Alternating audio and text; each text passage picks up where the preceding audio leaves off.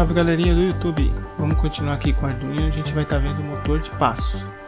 Aqui tem o esqueminha de um, né? Ele tem duas bobinas. Quando a gente magnetiza, no centro o ímã vai sendo movimentado, né? Atraído conforme a posição. E com a bobina de baixo é a mesma coisa. Ele vai ser puxado com o sentido de acordo. A parte de baixo simboliza a bobina de baixo e a de cima a bobina de cima. Então vamos energizar elas, né? Colocar nível 1, positivo e negativo, ele vai ser puxado para cima.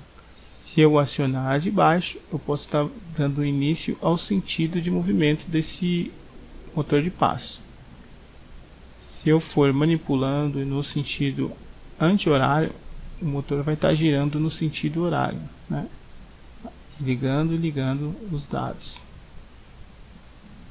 A combinação de dados beleza? Aqui eu dei completou um passo completo, uma volta completa, aqui completou uma volta completa. Se eu fizer o mesmo no sentido horário, o motor vai se movimentar no sentido anti-horário. Bacaninha? Agora fica fácil da gente fazer isso com o Arduino, com o Artmega, né? Então vamos colocar ele aqui, fazer uma simulação. Vou criar um código para poder estar tá manipulando ele. Então primeiramente a gente vai definir, né?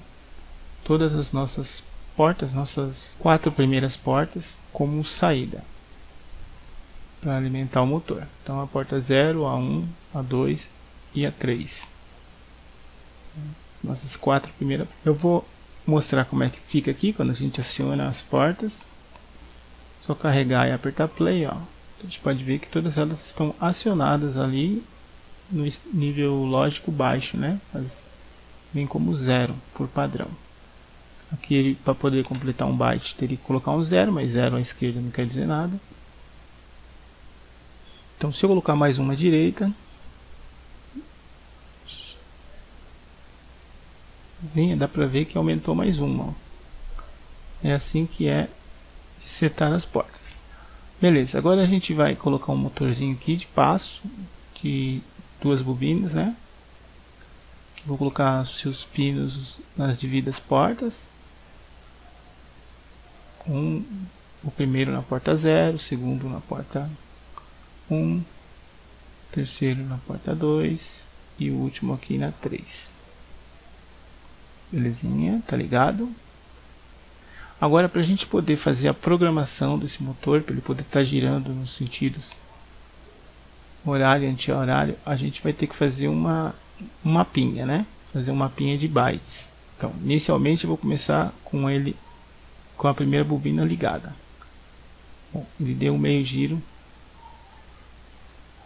para a direita no sentido horário.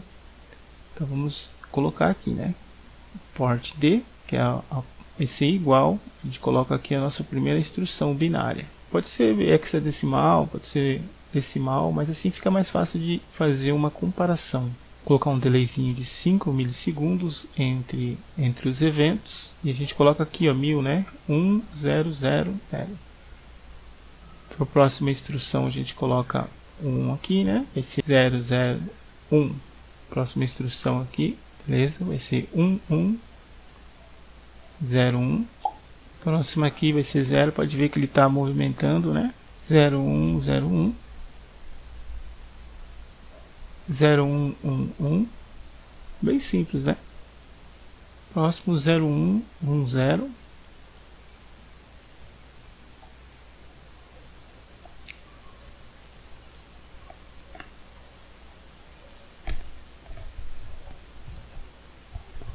a próxima 0010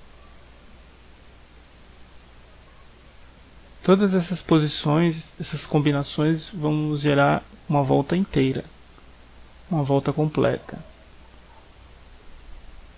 Aqui a gente vai ter um zero, um zero.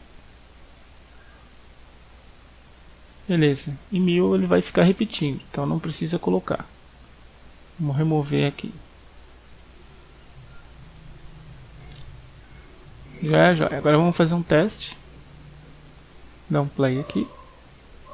E tá aí o motor girando no sentido anti-horário.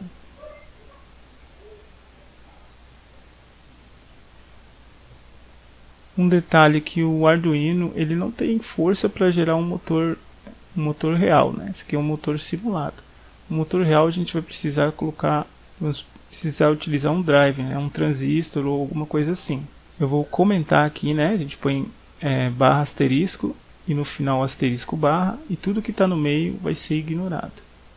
Agora a gente vai fazer o mesmo, o, a mesma combinação, só que com o sentido inverso, para o motor girar ao contrário. Então a gente coloca aqui, inicia com 1000 mesmo, né? Depois a gente vai 1, 0, 1, 0. Depois vai ser 0, 0, 1, 0.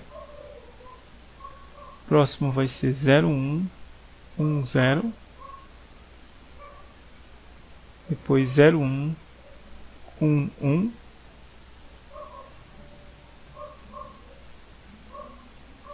Zero um zero um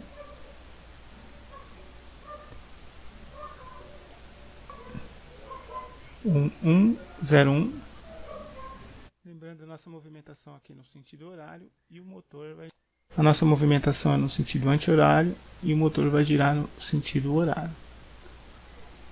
Vou fazer um teste aqui, dar um stop, carregar aqui e executar. Belezinha, ele está girando no sentido horário agora. Bem simples, né? Agora, ao invés de a gente estar tá fazendo tudo isso, toda vez que quiser inverter o sentido, vamos criar funções para isso que ela serve, né? Com pequenos blocos de códigos aí para a gente poder estar tá chamando de uma forma mais simples. Então é só criar uma função aqui, vou criar uma chamar ela de horário, ela de tipo void, né? Porque ela não vai retornar nenhum valor, ela só vai executar uma ação. É um procedimento na verdade, né? Vou copiar aqui o código todo aqui do horário, vou colar aqui na função, fechar a chave e vou criar uma outra aqui chamada anti-horário, né? Também de tipo void abre e fecha parênteses, abre e fecha chave. No meio a gente vai colocar aqui o nosso sentido anti-horário aqui. Joinha. Deixa eu arrumar aqui o código, remover o comentário e vamos chamar primeiro a função horário. Ele vai estar girando nesse sentido. Belezinha, funcionando. A nossa função horário. Agora vamos testar a função anti-horário. Dá um stop e beleza, também está funcionando com o Arduino. Lembrando que o Arduino não tem força para gerar um motor de passo real. A gente precisa pôr um driver, né? Colocar um transistor, um CI, alguma coisa assim. Agora vamos trabalhar com parâmetros, né? Vamos enviar parâmetros para as nossas funções. É bom para a gente poder estar praticando, isso é bem importante. A função horário vai receber um parâmetro de tipo inteiro chamado vel. Vai ser a velocidade aí do nosso motor. Aqui na no, quando a gente chama a função, a gente tem que enviar esse parâmetro né, de tipo inteiro, que ela vai ser gravada ali no vel. E eu vou colocar o, o mesmo valor aqui, 5. Essa é a velocidade. Para manipular isso, eu vou substituir no delay todos os números 5 pela variável vel. Dessa forma, toda vez que mudar o número lá em cima, tudo que tiver aqui embaixo, que tiver vel, vai mudar também. sistema bem simples e bem prático. Vou fazer a mesma coisa com a função anti-horária. Vou utilizar o mesmo nome para variável, não, não, importa porque estão em escopo diferente, né? É chamada de variável local, porque ela só vale ali naquele local. Substituir os delays também.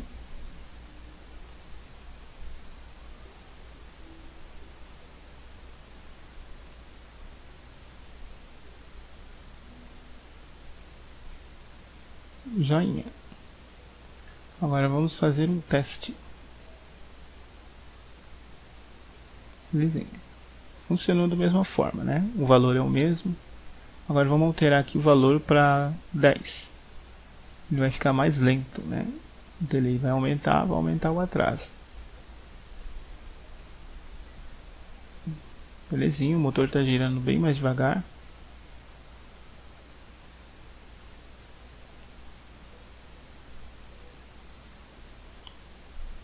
fazer o mesmo para nossa função horário.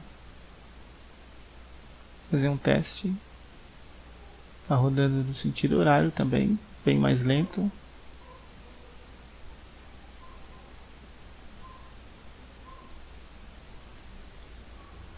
Joinha. Dá pra gente brincar bastante, fazer bastante coisa aqui, né? Por exemplo, eu vou eu quero que ele fique um tempo na função horário e um tempo na função anti-horário. Vou colocar aqui 10, ele vai dar um, 10 voltas né, no sentido horário. Eu copio o mesmo laço for para a função anti-horário. Também eu posso alterar o tempo, não preciso pôr as duas iguais. Né? A de baixo com 4, mas um pouco mais rápido. E a de cima vou colocar com 5 de velocidade. Fazer um testezinho ele vai girar nos dois sentidos. Acabar de girar 10 vezes em um, vai girar 10 vezes no outro.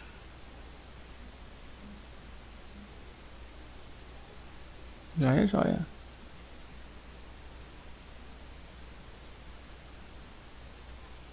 No sentido horário, ele gira mais rápido, né? Aí no anti-horário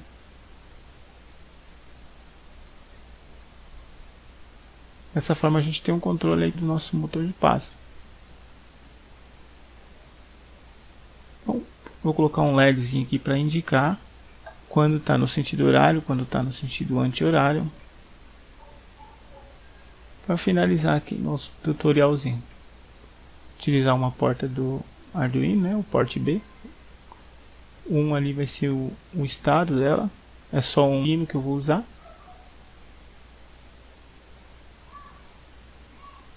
Então quando ele troca de direção, ele troca de LED. Bacaninha. Um LED acionado com positivo e o outro acionado com negativo. Bom, espero que o pessoal tenha gostado e entendido aí. Qualquer dúvida é só postar nos comentários. Mais pra frente a gente vai falar sobre driver. Até a próxima aí, galera.